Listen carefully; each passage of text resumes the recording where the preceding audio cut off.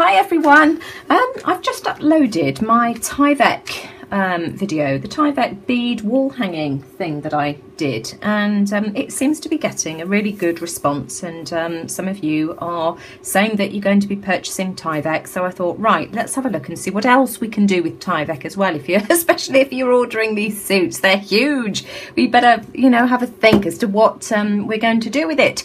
So I've got another piece of Tyvek here from the suit and I've got my scissors and I am going to cut some circles freehand circles um, in varying sizes. Um, you know, they're not going to be even. I'm hopeless at cutting circles, but that is fine. It really doesn't matter. So I'm going to see how many I can get out of this one piece of Tyvek. So we'll keep going like this. Try and get as close to the first one as you can so that you don't waste any of it, um, obviously, and just keep going and as soon as I've um, cut this out and I've got my circles I'll, I'll come back. Okay, so out of that one piece of Tyvek, um, I've got all of these pieces, um, all these circles here um, in various different sizes. I started cutting the larger ones and then of course naturally you just end up with smaller ones as your piece of Tyvek just gets less and less and less. Um, I've even ended up with some scrap bits. Dee, if you're watching, um, tell me what I can do with these, please. I shall probably throw them away. I'm only joking. Um, but um, but now I've got some um, of my spray inks. I'm using the um, Do Craft Artiste inks again. Um, I really like using these the, the other day. Um, I've had these for, oh gosh, probably a couple of years and I do not use them as much as I should but yet the colours are just absolutely gorgeous. I don't know why I don't really. Um, so but you can use paints you know anything anything you like. It really doesn't matter. So and um, vary the sizes um, when you're changing your colours as well. Here we go. Um, we can have a tiny one as well. Can't be in the purple but oh just look at this. The colours are just gorgeous. And in fact actually I'm going to do both sides Okay, so um, my bits and pieces are all painted and they're dried. I did actually use my heat tool, um, but one word of advice, I used a skewer um, just because they blow away otherwise, and you've got to hold it at a distance and keep wiggling, wiggling it around, otherwise um, you'll melt it too soon. And you can see on a couple of mine as well, that one there, I've got too close or held it in place for a bit longer than I should have and it started to melt. But you know that that's fine that's fine. Um, or of course you can leave these to um, dry naturally. It's entirely up to you. So right okay what I want to do now is I've got some brads. Um, these were from um, oh blimey um, the name of the place has just gone out of my head the range, the range here in the UK, and I think these were 150, 199 for a, for a pack. Um, they come in different colourways as well. I've got them in sort of bronzy colours, I've got them in greens and blues as well, but I just thought I would use the pinky ones, and you can see that the smaller ones and larger ones as well. Um, these are really expensive to buy in Hobbycraft, so the range is, is a much cheaper option.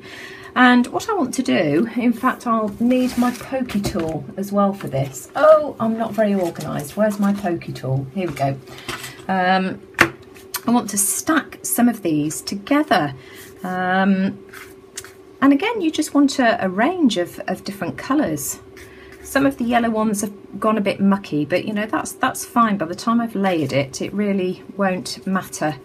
Um, and I'm not going to put these together with the brads yet. I just want to layer them and see what um, see what I've got see what I end up with. Um, and in fact I'll leave some of the larger ones um, to start off with. Let's just grab some layers first off.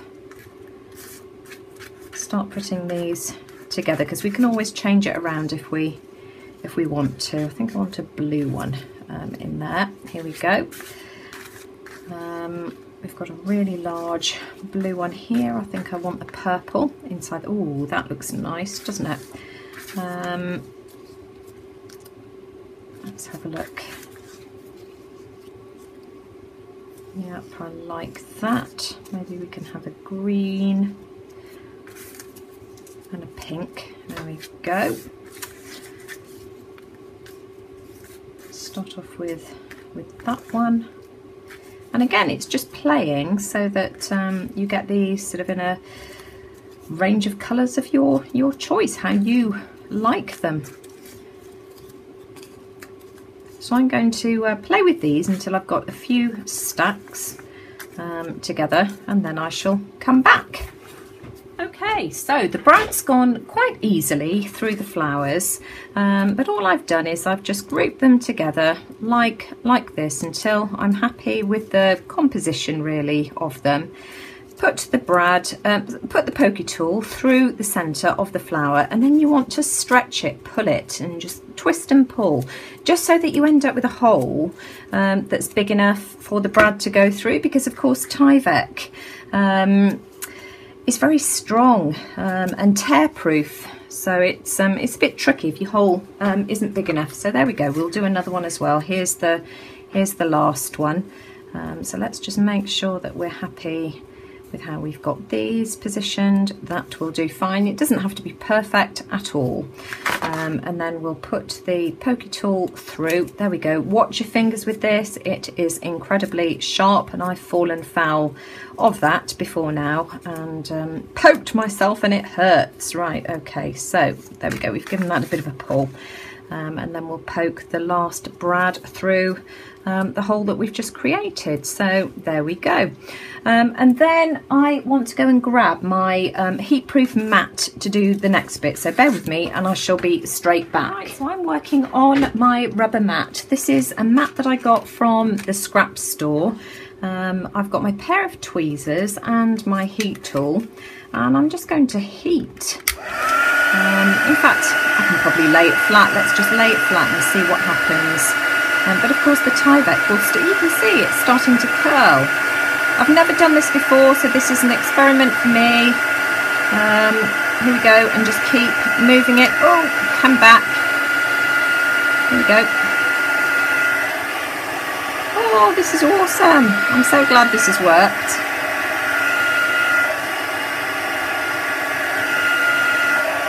And you can melt these as much or as little as you want. Let's go from the outside as well and just see what we... Oh!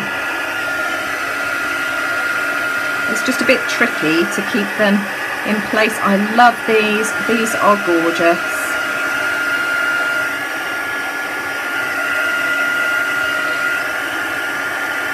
And just heat it as much or as little as you want. And so that you've got some lovely flower embellishments. I think I'm going to leave that one at that. But oh, that is just so cool. I love that. Let's do another one. Right, here we go. In fact, you don't even need your tweezers. I might find it easier with a with a skewer. Let's just let's try another one and see.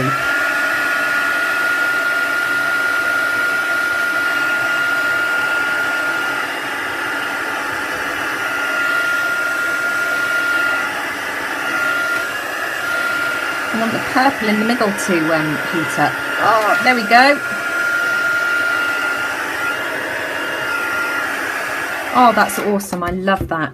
That is just gorgeous. Oh, this is one for Dee. I can't wait for Dee to see what um, she comes up with um, with this. I know she loves flowers. These have turned out really, really well. I'm so happy with these. Um, great little um, embellishments and I can add glitter or more gold around the edges of these um, if I want to.